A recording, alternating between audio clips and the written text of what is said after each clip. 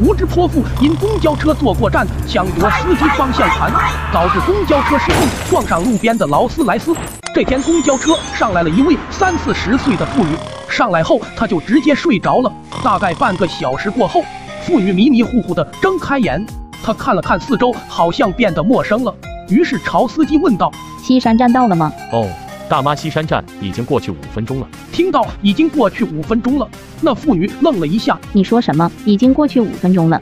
随即她便朝着司机破口大骂：“我说你是干什么吃的？我都坐过站了，你不提醒我的吗？”公交车司机也是一脸无辜的说道：“大姐，我怎么知道你要在西山站下？而且刚才语音播报了，你没听见吗？听见什么？听见？老娘睡着了还怎么听见？”说完后，司机并未搭理他。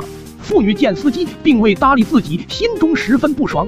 他又想着错过了站，再坐公交又得等半天，打车又要花好几块钱，于是再次朝司机说道：“嘿，你赶紧停下来，给我掉头回到西山站。”公交车司机听到这么无理的要求，也是一阵无语。这位大姐，公交车哪还有能掉头的？况且我们车上还有其他乘客呢，掉头了他们怎么办？那泼妇一听不乐意了：“你先掉头，他们一会儿再跟着你的车坐过来不就行了吗？”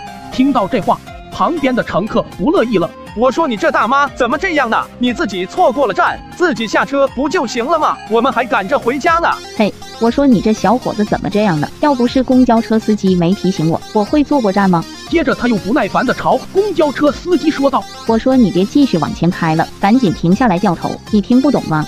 看见妇女这样。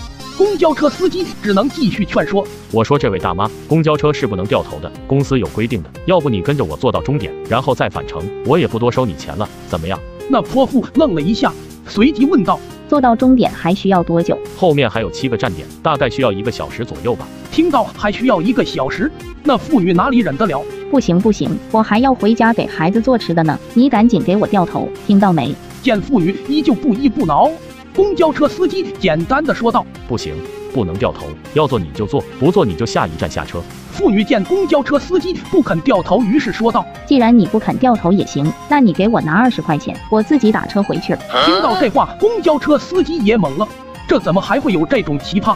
于是拒绝道：“我说这位大妈，公交车错过站，这是你自己的问题，我凭什么给你钱？凭什么？就凭你没叫我导致我错过站，我就问你一句，你给不给？不给。确定不给是吧？不给。看见自己被拒绝了。那妇女火气一下子就上来了。她是家里的独生女，从小到大还没有人敢这么忤逆自己。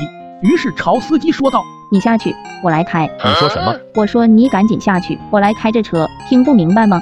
看见妇女这么说，车上的乘客说道：“大妈，这可不是什么人都能开的。你有驾照吗？你张嘴就来。”闻言，那妇女却是不屑地说道。开个四个轮子的破车有什么难的？不就是一个方向盘、两个踏板吗？老娘骑了几十年的电动车，那两个轮子的都开得起来，这四个轮子的还开不了吗？不是我吹，这破车就是拴条狗在这儿，它都能开走。对完乘客后，他见司机还没有让开位置，他彻底忍不住了。我让你给我滚开，我来开，你听不懂人话是吧？看见妇女这副模样，公交车司机没有说话，自顾自的开车，这下彻底激怒了妇女。和你们说话真他妈费劲。